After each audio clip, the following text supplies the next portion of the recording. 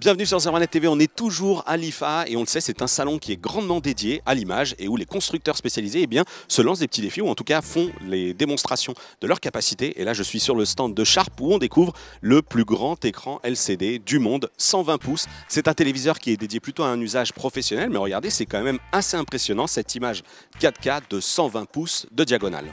Autre tendance forte dans le monde de la télévision, eh bien, il s'agit de réduire les bordures d'écran et regardez chez Sharp avec ce 70 pouces, eh bien, la dalle est quasiment à fleur du cadre. Ici, ce moniteur, eh bien, il s'appelle tout simplement 70 pouces Narrow Frame LCD. L'idée, c'est de montrer que Sharp est capable de faire des écrans complètement sans bord. Là encore, pour une intégration euh, ultra propre, ultra design. Regardez, c'est réussi. Mais tout ça, bien, c'est encore qu'un concept. Et avec la multiplication des écrans dans sa vie numérique, il y a forcément d'autres formats à travailler et c'est euh, l'objectif de Sharp. Regardez, j'ai à côté de moi plusieurs présentoirs avec plusieurs tailles d'écran. Ici, on le voit pour des appareils plutôt avec des petits écrans. Je vous parlais euh, de dalles avec très peu de bords. C'est aussi le cas de ce Freeform Display. Alors Freeform Display, c'est le concept de Sharp, mais on a ici un écran 8,8 pouces avec quasiment aucun bord Ici, l'utilisation juste à côté est plutôt dédiée au monde de l'automobile. On connaît, on sait qu'il y a des marques qui utilisent des systèmes de virtual cockpit, pour ne citer que celui-ci, qui est en l'occurrence le produit de chez Audi, avec des dalles LCD à la place des compteurs traditionnels. Ici, c'est ce que Sharp présente. On a essayé de savoir un petit peu s'ils avaient déjà des partenaires en cours dans le monde de l'automobile. Forcément, on n'a pas eu de réponse.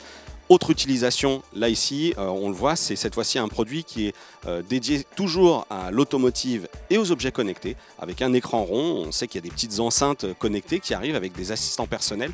Pourquoi pas ne pas retrouver ce type d'écran euh, pour afficher différentes instructions, différents menus.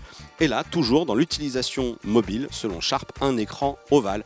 Alors ce qui est assez étonnant, eh bien, c'est que même sur un petit écran ovale comme ça, Sharp arrive à intégrer une dalle dont la définition est annoncée à 1280 par 720 pixels et le résultat, on peut vous le dire, eh bien, il est assez propre.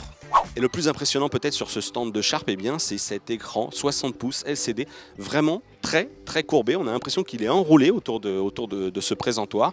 C'est là encore une démonstration, ce qu'on nous explique et ce qui est euh, présenté comme le fameux freeform display, eh bien c'est qu'aujourd'hui on a des écrans qui sont courbés à la maison légèrement, comme le font Samsung, LG euh, et compagnie. Mais là on arrive vraiment sur des capacités et des possibilités encore supérieures et donc des concepts qu'on peut travailler quasiment à souhait.